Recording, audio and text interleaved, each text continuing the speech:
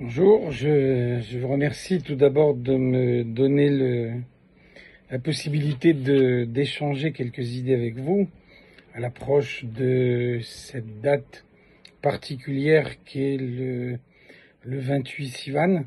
Le 28 Sivan est la date à laquelle le rabbi est arrivé sur le continent américain euh, à l'issue de multiples péripéties en Europe occupée par, euh, par les nazis.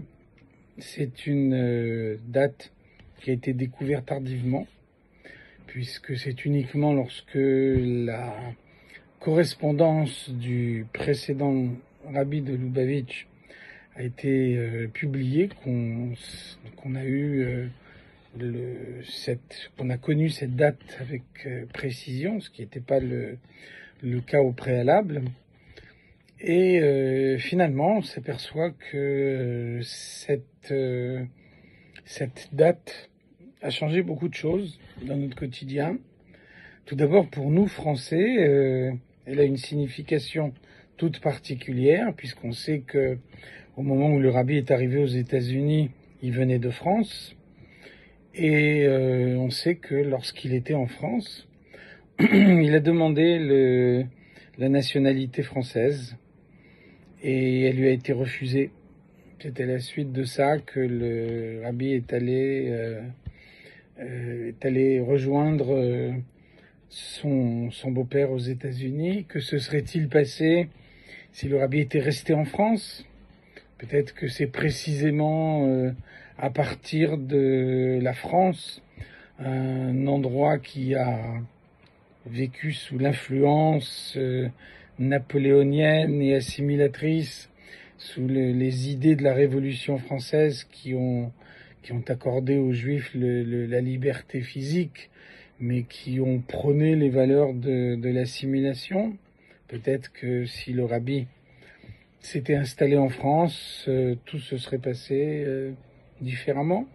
En tout cas, le rabbi a décidé d'introduire la révolution dans le monde précisément à partir du continent américain. On voit que nos maîtres ont donné euh, à cette constatation une dimension également ésotérique en constatant que euh, le continent américain est entouré par les océans, ce qui veut dire que euh, lorsque la Torah a été donnée sur le mont Sinaï, alors, le, elle s'est répandue dans tous les continents qui étaient rattachés à l'endroit où se trouvait le mont Sinaï, alors que euh, sa présence euh, sur le continent américain était plus diffuse, puisque elle, elle, le, continent américain se trouvait un peu isolé, et donc en quelque sorte, on peut dire qu'avec l'arrivée du rabbi sur le continent américain, il y a eu un, une euh, extension du don de la Torah jusque sur ce continent euh, américain. Et euh, donc de cette façon, un pays qui était éloigné de la pratique juive, un pays dans lequel à l'époque on avait l'habitude de dire en Amérique c'est différent. Quand on est sur le vieux continent, on peut rester fidèle aux valeurs de la, tradition. Inversement, quand on s'installe aux États-Unis, on est nécessairement happé par le, mode de vie américain qui impose le travail pendant le jour du Shabbat. Comment réussir dans les affaires autrement que en, travaillant euh, le Shabbat.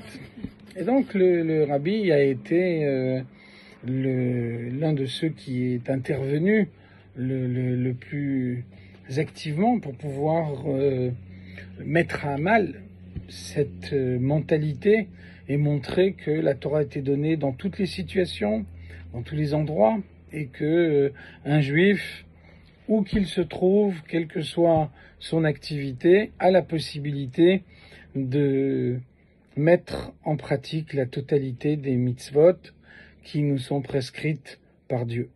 Et donc on voit que effectivement le monde tel que nous le connaissons a été modifié par des valeurs que le, le rabbi a su mettre à la portée de, de, chacun. Le rabbi a reconstruit le, le, judaïsme à proprement parler.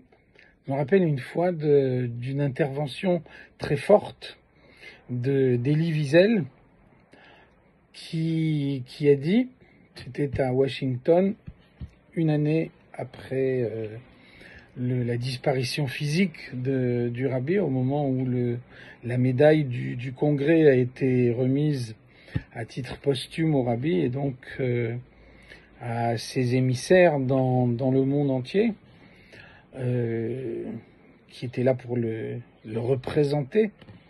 Et donc Elie Wiesel, à cette occasion, euh, a dit ceci, c'est vrai que c'était une phrase très forte, il a dit on a coutume de penser que, euh, que les nazis ont tué 6 millions de juifs.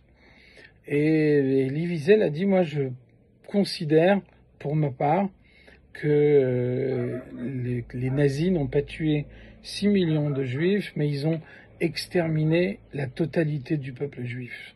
Parce que tous ceux qui ne sont pas morts physiquement sont morts spirituellement. Effectivement, on a vu après la guerre comment les gens rasaient les murs, avaient honte. Nous-mêmes, dans notre jeunesse, on a eu l'occasion de voir des, des, gens profondément traumatisés, qui refusaient de, de parler, qui n'avaient plus une, une, vie normale. Et donc, le, le rabbi a reconstruit le peuple juif spirituellement. Le rabbi a introduit la notion de Geon Yaakov, la fierté de Yaakov, la fierté du peuple juif, la fierté de, de, de son judaïsme, fait de le revendiquer. Et donc on peut dire que cette fierté qui est partagée à l'heure actuelle par tout le, le, peuple juif est l'effet direct de, de, cet enseignement du rabbi. Et puis, euh, le rabbi a été un visionnaire. Le rabbi a vu d'emblée euh, tout tout ce qui allait se se passer. Et on voit que par exemple, on sait que lorsque le rabbi est arrivé aux États-Unis, il a travaillé pendant quelque temps dans la marine américaine. Il avait un emploi à mi-temps. Il travaillait à mi-temps euh, au centre mondial de Lubavitch, où déjà il commençait euh, la diffusion du judaïsme qui a pris une, immense ampleur par la suite.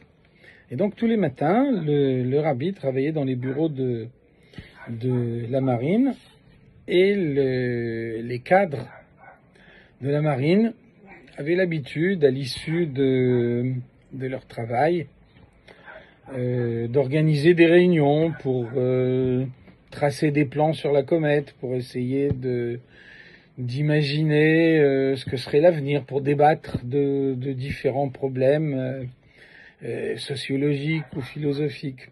Le rabbi n'a jamais participé à ces réunions.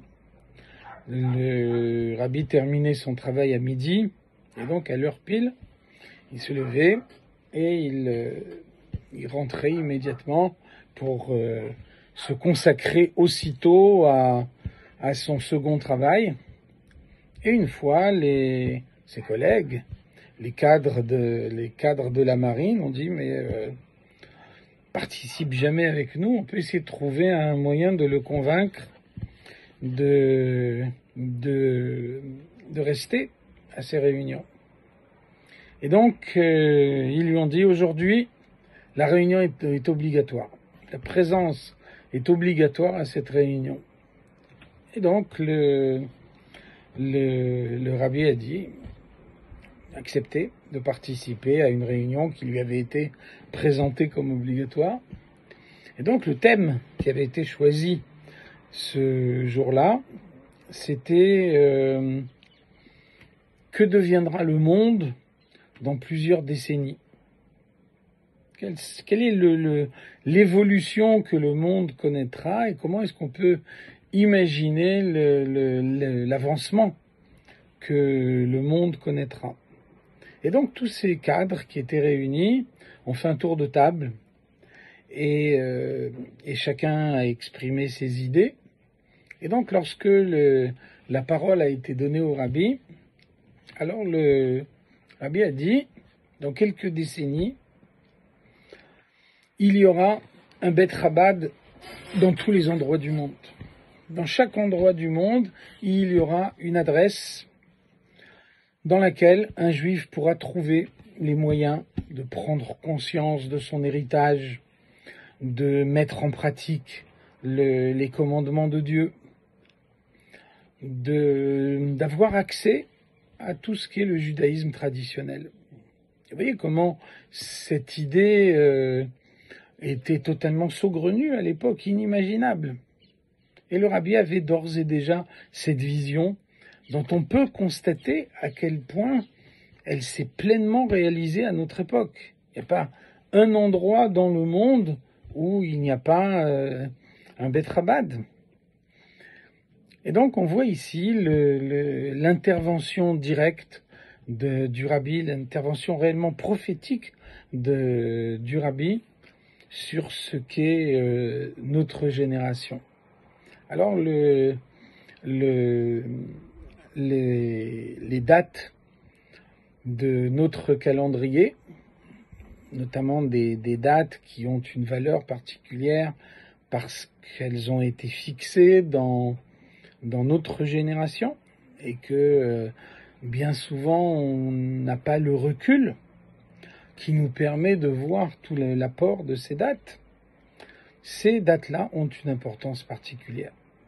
On voit que, par exemple, après la guerre du Golfe, le, pardon, rabbi a adressé une, lettre à tout le peuple juif, les Chol Bnei ou Bnot Israël Bechol Makom Shehem, à tous les fils et filles d'Israël en tout endroit où ils se trouvent, et le rabbi rappelant que la guerre du Golfe est parvenue à son terme peu avant juste avant la fête de Purim, le rabbi a dit que le, le, miracle de, la guerre du Golfe, les miracles multiples qui se sont passés pendant la guerre du Golfe sont des miracles plus importants que ceux de Purim. Et vous voyez que à peine quelques années après cette guerre du Golfe, nous nous rappelons de Purim, nous célébrons une fête chaque année nous observons en cette fête les mitzvot qui nous ont été prescrites par nos sages. En revanche, qui se rappelle encore de la guerre du Golfe et des miracles que Dieu a accomplis dans le monde? Donc on voit euh, qu'une date a bien plus qu'une valeur historique. Une date, c'est aussi une, une phase nouvelle de l'humanité et donc, chaque année, quand revient cette date, on ne peut pas se limiter à la célébrer comme un, événement du passé, comme euh, un événement qu'on doit voir comme quelque chose qui s'est passé il y a bien longtemps, mais bien au contraire, l'événement doit être vécu comme actuel. Et donc, vivre le 28 Sivan en cette année 5781, c'est voir de quelle manière le monde entier a changé. Et ceci est particulièrement important cette année, alors qu'on voit comment une, une épidémie a décimé le monde, et on voit comment une, une, une, épidémie a pu en quelques, en l'espace de, quelques jours, modifier profondément l'existence de, chacun. Alors, euh, très difficile d'avancer des interprétations et euh, très difficile de mesurer dans quelle mesure toutes celles qui sont, qui ont été avancées sont vérifiées. En revanche, ce qu'on peut dire avec certitude, parce que nos sages nous le disent, c'est que Meruba midatova yoter mimidatapuranut. L'attribut du bien est beaucoup plus puissant que l'attribut du malheur. Et donc, si en quelques instants un virus a pu faire tellement de mal, Alors imaginez comment, en quelques instants, la délivrance peut modifier le monde. La venue du Mashiach peut faire en sorte qu'en un seul instant, le monde change. Et donc, la délivrance, c'est euh, le but de la création, le moment où enfin Dieu résidera dans ce monde matériel, où sa présence apparaîtra clairement à travers, le, à travers chaque objet euh, matériel. Et ceci nous rappelle que juste après le 28 Sivan arrive le 3 Tammuz, la date à laquelle le rabbi s'est voilé physiquement à nos yeux.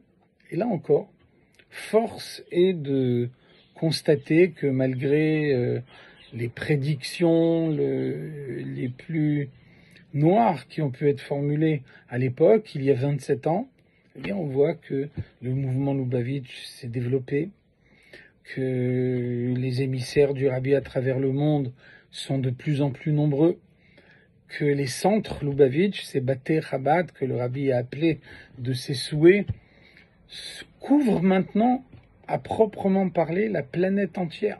Chaque juif, où qu'il habite, a à proximité de, de chez lui un endroit qui peut lui apporter toutes les valeurs juives en les mettant à sa, à sa disposition. Alors, le, quel est le sens profond du 3 Tammuz Il n'est pas, honteux de dire que nous ne comprenons pas tout. Il n'est pas honteux de dire que le Créateur ne doit pas des comptes à la créature. En revanche, la conviction profonde de chacun, c'est que à partir de ce 3 Tammuz, nous sommes tous entrés dans la phase finale la création, juste avant la venue du Mashiach, juste avant le plein dévoilement de la présence de Dieu dans, dans le monde. Et donc se préparer à tout cela, c'est accomplir une mitzvah de plus, c'est euh, s'attacher au rabbi en sollicitant une bénédiction là où il repose à New York, en sachant que Kdusha Lozaza Mimkoma, la sainteté ne quitte pas l'endroit dans lequel euh, elle réside. Et donc le rabbi accorde à chacun ses bénédictions, il insuffle à tous des forces spirituelles au-delà de tout ce que nous pouvons imaginer.